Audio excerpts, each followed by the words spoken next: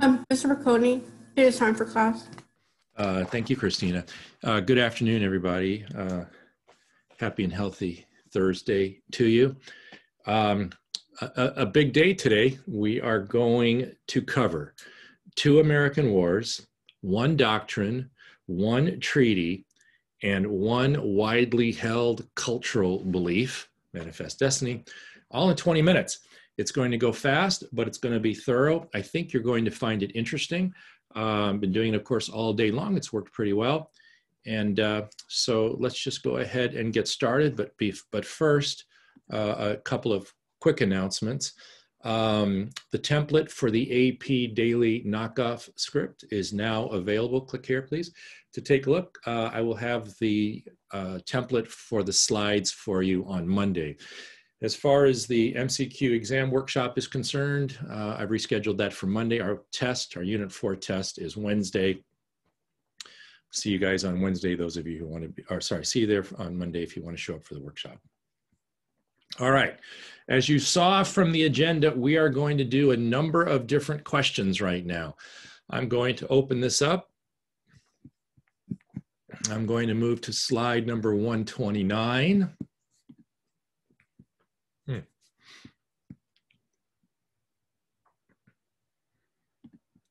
Slide 129. Let's see, we got it. I slipped off there. 129. And we'll dig right in. Okay, here we go. 20 minutes. Let's see what we can do here. Hit our mark for sure. I'm counting on it.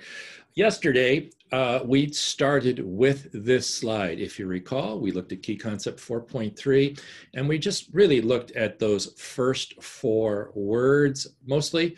We talked about the fact that this key concept is referring to everything that it takes place after the Louisiana Purchase. But since it begins with following the Louisiana Purchase, we of course had to take a real close look at the purchase, which we did.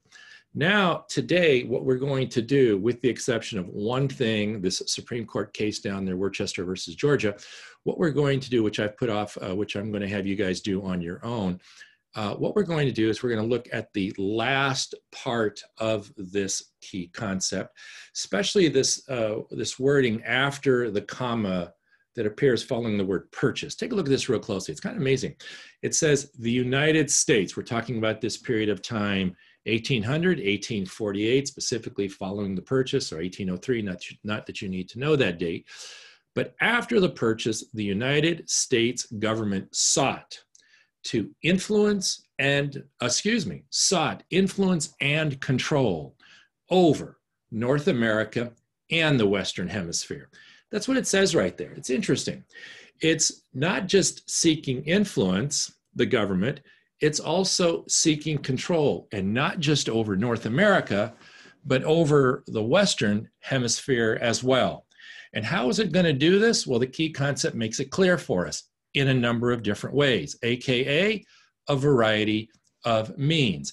It's going to do this by exploration, the Lewis and Clark expedition, by way of military action, this uh, uh, Mexican American War.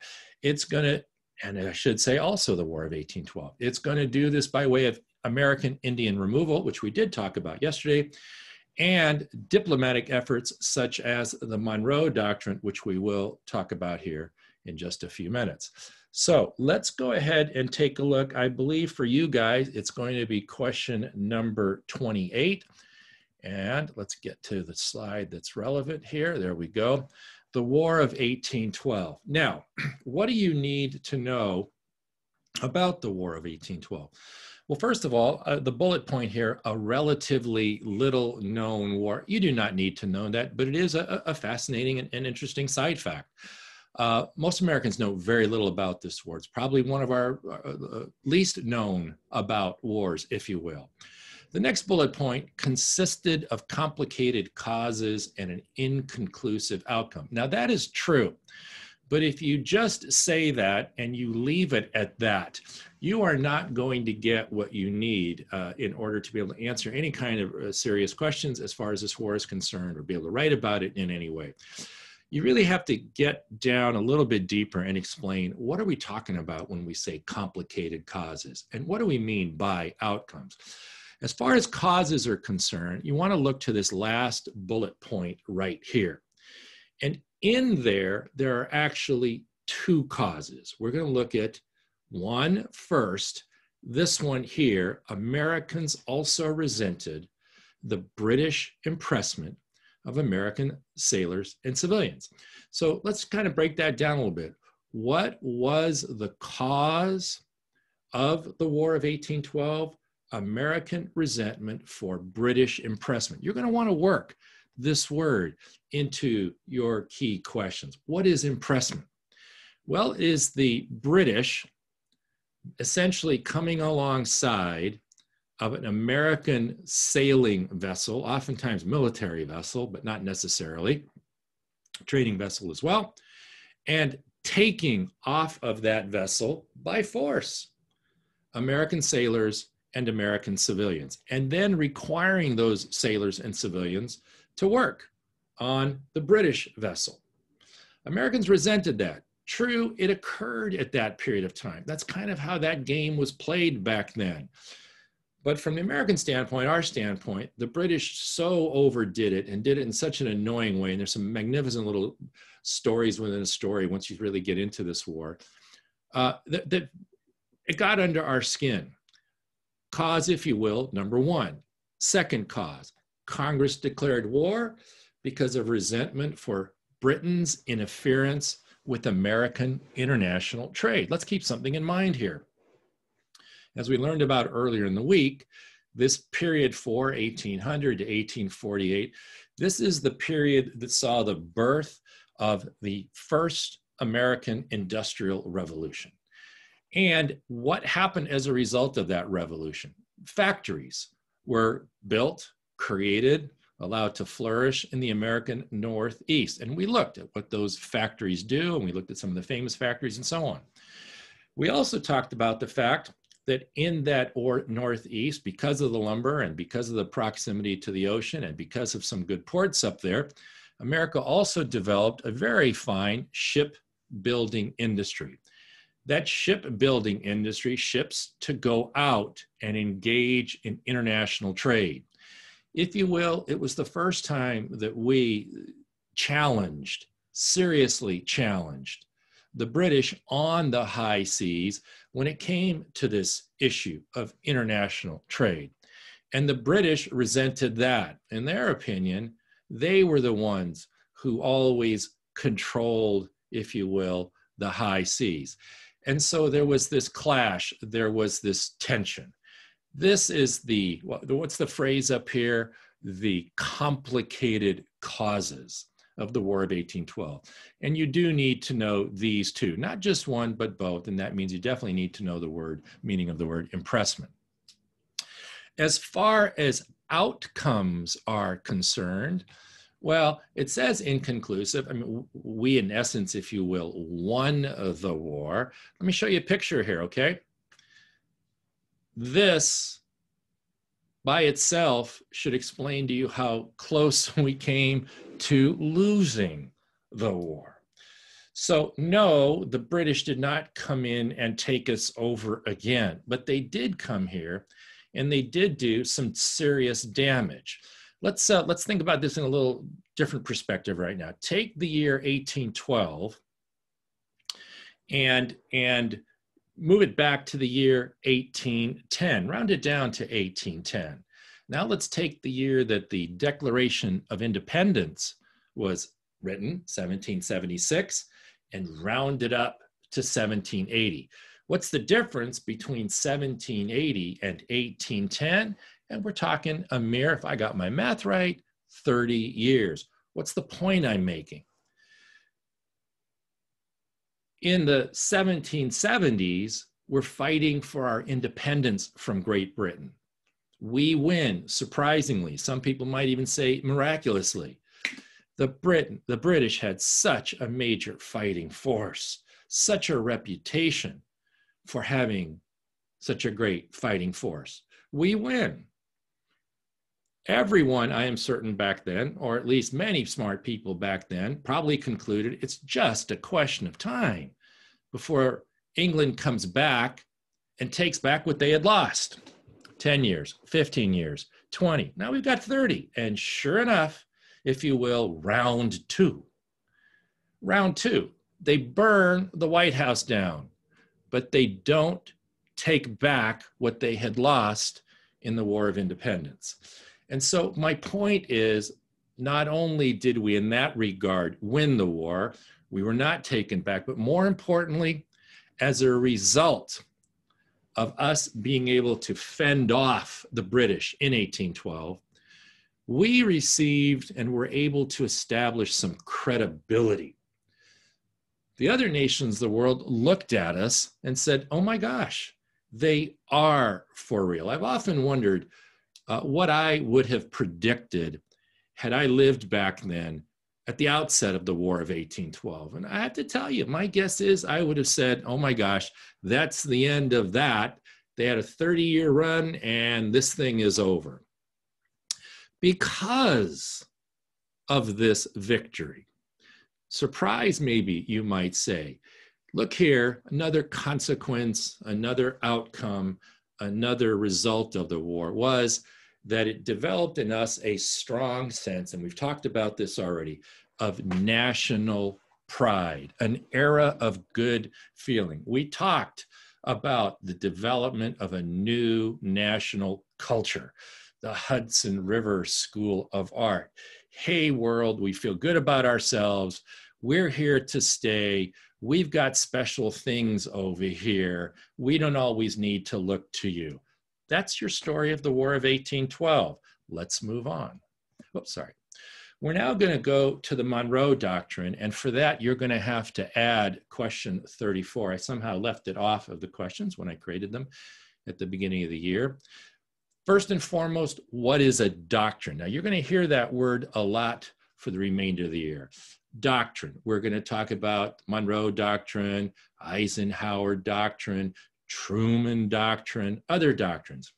And almost always, what you're going to see is that doctrine is in reference to an American president.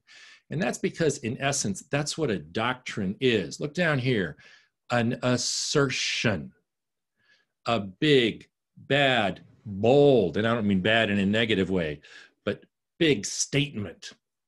Hey, world, listen up, says the president. I'm going to issue a doctrine. Um, presidents issue doctrines, doctrines. Monroe issued a doctrine. And what was it? Well, we got the language right here. The American continents. There's an S after this word. Continents, meaning north, central, and south.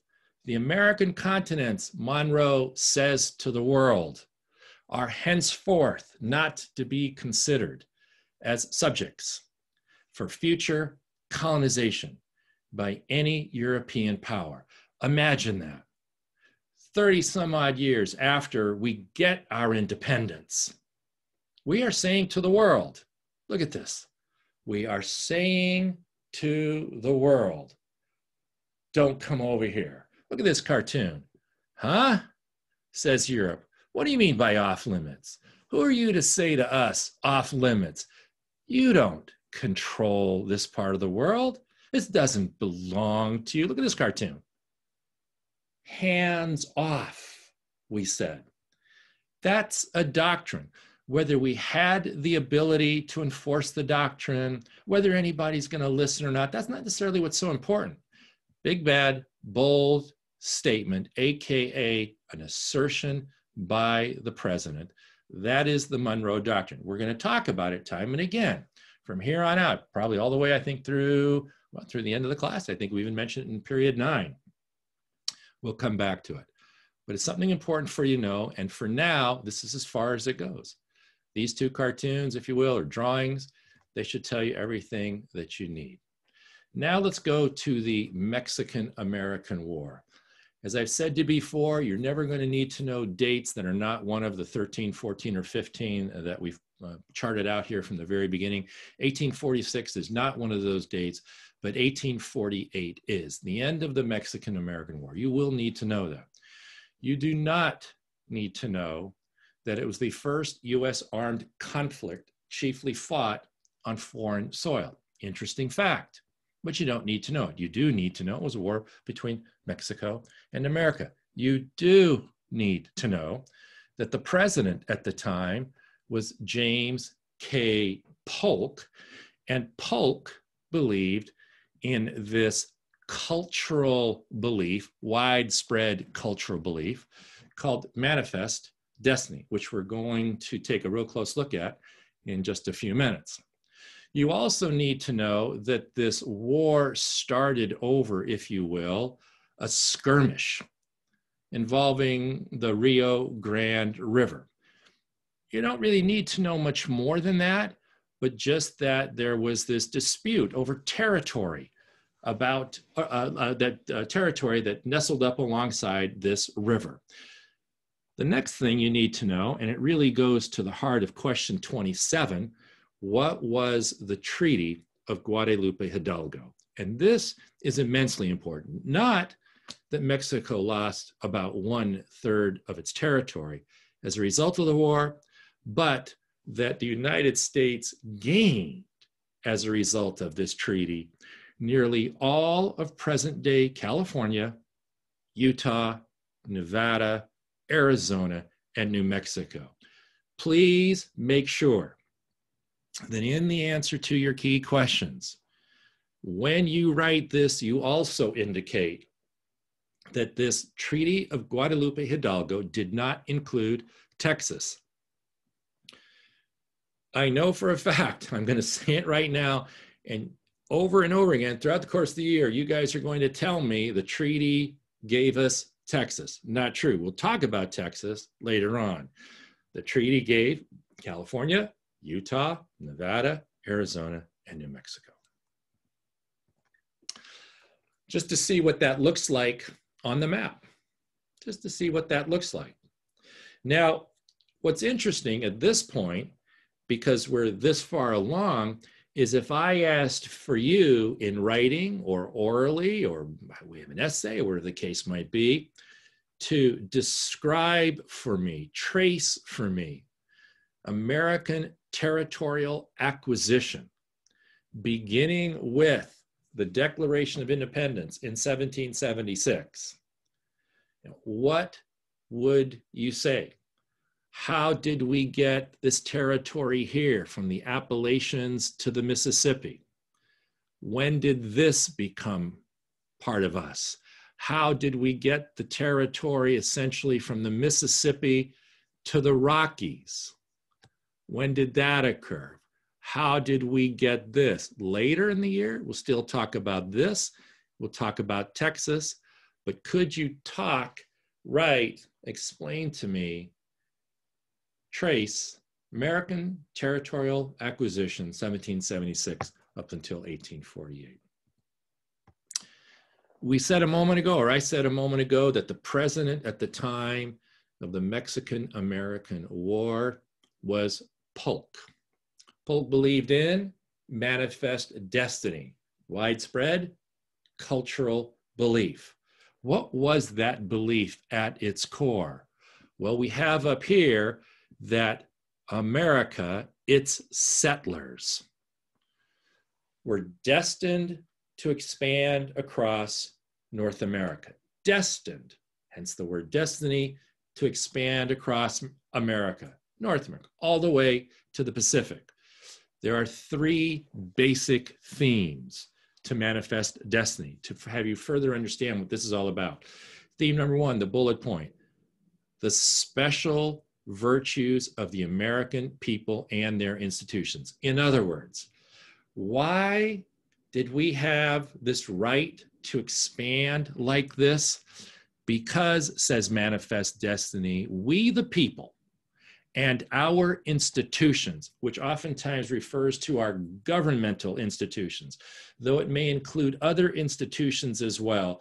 But primarily, what we're talking about is our governmental institutions, our presidency, our courts, our Congress, the American people and their institutions, according to Manifest Destiny, it has special virtues, AKA, it's better than anything else. It's that special. That's why we get to move forward according to the belief of Manifest Destiny. Theme number two the mission of the United States, check out these words, is to redeem and remake the West, the entire West, in the image of an agrarian America. That's our mission. Redeem it, take it, remake it into essentially agrarian, a large farm. Three, it's not only our destiny to do this, it's an irresistible destiny, as if to suggest we couldn't help ourselves if we wanted to. It's what it really means to be American. Irresistible destiny to accomplish this essential duty. Well, what is this essential duty? To expand westward, manifest destiny. We've now taken care of a number of different questions. We looked at the War of 1812, question 28, 34 Monroe Doctrine, 26 Mexican American War, 27 the Treaty of Guadalupe Hidalgo. We're now looking at 29 Manifest Destiny. I'm going to take this slide out. No need to look at that. Wonderful Course Hero uh, video on Manifest Destiny, which I put here now, but we're also going to see it later. It's also going to appear in my period five slideshow because Manifest Destiny doesn't stop with 1848. So we're going to actually see this entire story replayed when we do period five. But right now, what I'd like to do is have you take a close look at, at a very famous Manifest Destiny image, the same one that I'm using as a backdrop today. There's no AP test, I don't think, ever that didn't include this image. Certainly, it's going to be on all my tests. It has to be, it's that famous. And what do we do with this image other than look at it? Well, there's lots of things we can do, but, but one thing I like to do, one thing a lot of AP teachers like to do, is to have you right now, wherever you are, just visually divide this image into four equal boxes. Let's divide it into four equal boxes. And then what I'd like for you to do, we're going to do what's called a quadrant analysis, just so we can really take a close look at this image, is look at the box that you have in the top right-hand corner and ask yourself this question. What do you see? What do you see? And I want you just in your mind to list off all the things that you see. I'm going to model this for you right now. I see one train. I see a second train. I see sailboats. I see what looks like a river, could be two rivers coming together. I see a bridge. I see what looks like the sun. I see clouds in the sky. And I see poles here attached with some kind of wire. Now let's do the bottom right hand quadrant. In your head, without me saying other, anything other than counting off, I'd like for you to say, what do you see? One, two, three, four, five, six. Now I'd like you to do the exact same thing the left-hand quadrant. One, two, three, four, five, six. And some of you may have an eye for detail and are going well over six, and that is fine. And now on your own, without me saying anything, the top left-hand quadrant.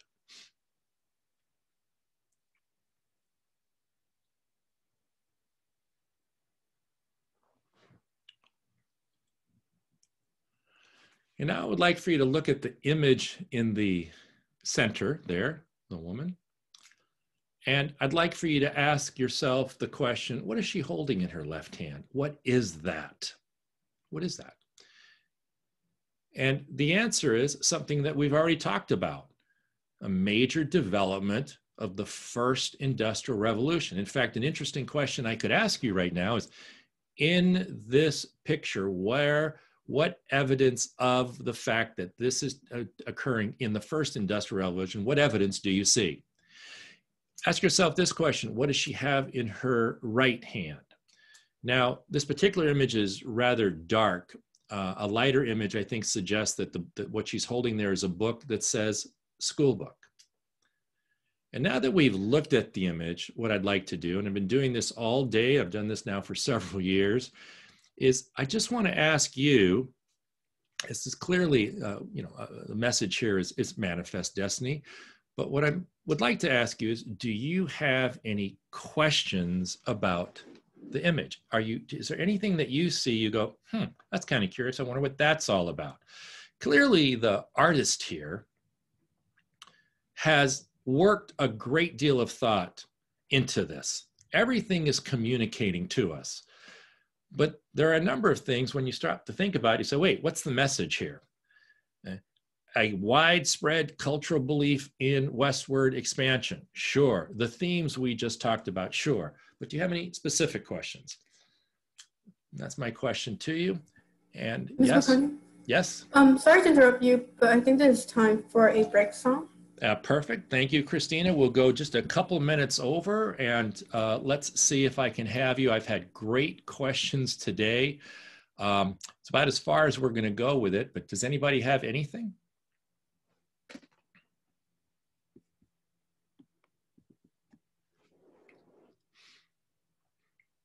Well, period six, a lot of silence here today.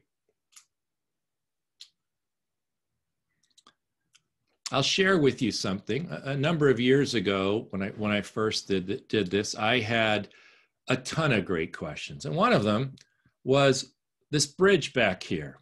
What is this? And what body of water is this? Based on, whoops, sorry, based on our study so far, when it comes to what body of water is this, there may be three or four logical and good possibilities. In the chat box, very quickly, everybody, put your hands on your keyboards, on the keyboard, please. Oh, I'm seeing a great one here. Uh, I'm going to go one, a three, two, one, and then I would like for you to give me a, a couple of guesses on what do you think that could be. What body of water? Three, two, I want everybody in. If you don't have anything at all, question mark, one, send. Okay. So let's see what kind of answers we have. Okay, let's see what we got here. Chesapeake Bay, given how we've talked, is is is a it's a good reasonable answer. Atlantic Ocean, good reasonable answer. Look at that. I see Chesapeake Bay twice. Uh, I see Hudson River, Mississippi River, all good reasonable answers. Okay. I see, uh, let's see, do I see a Mississippi? I see all of uh, today, I've seen a, a couple of you said the Ohio River, all good, reasonable answers. Now, if we had to choose between Hudson, Ohio, Mississippi, Atlantic, and Chesapeake, an interesting question would be which body of water makes most sense based on what we've learned so far? Let's see if I can get you all to vote on one of those right now. Hudson, Chesapeake, uh, Mississippi, Ohio, Atlantic Ocean. Three, two, one, send.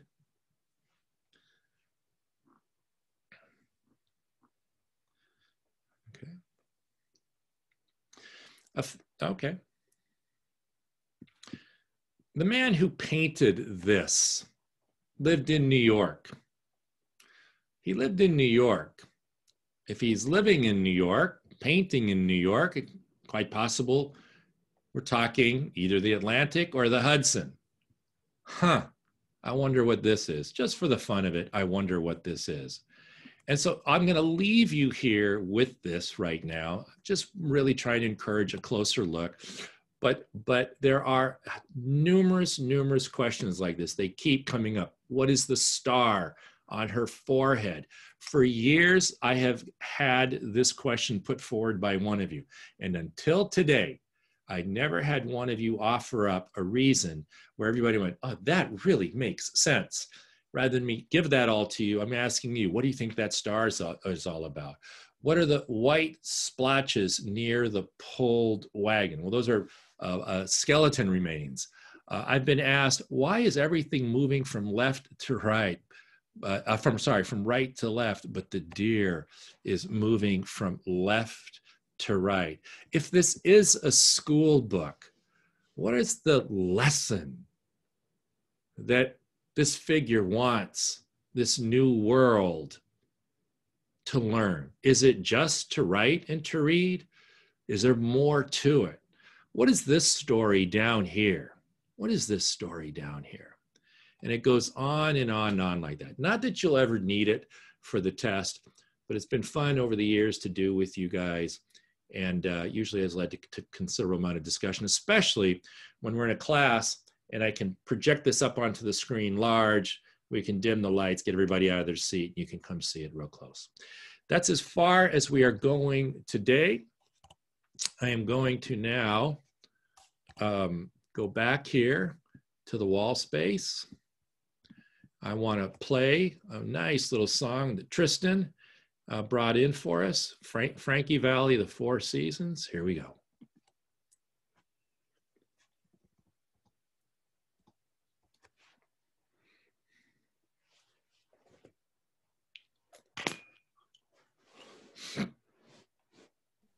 Mr. Paccone, I don't think you're sharing the sound right now. Did you say you couldn't hear it? Yes. Okay, I see why. Okay, let's do it again. There we go.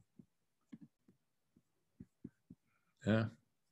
Well, that's not gonna, okay, yes, it is gonna work. Um, Frankie Valli. Let's see. Should work. We are going to go back to the year 1962, yeah. The very beginning. Y'all remember that? Good. Now check these guys out, because they're going to start singing and we want you to join in, okay? I said okay.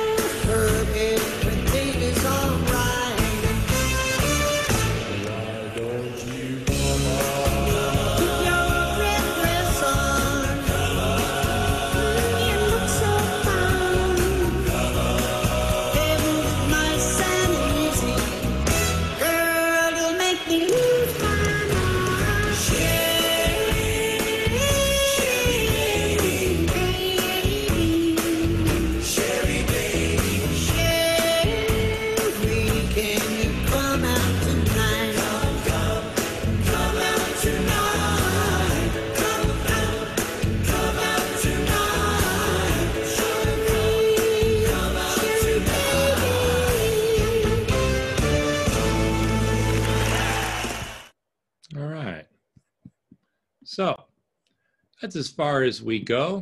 I'm now going to uh, end the recording and give you time to work on your PBLs. And of course, I'll be here in case you have any questions.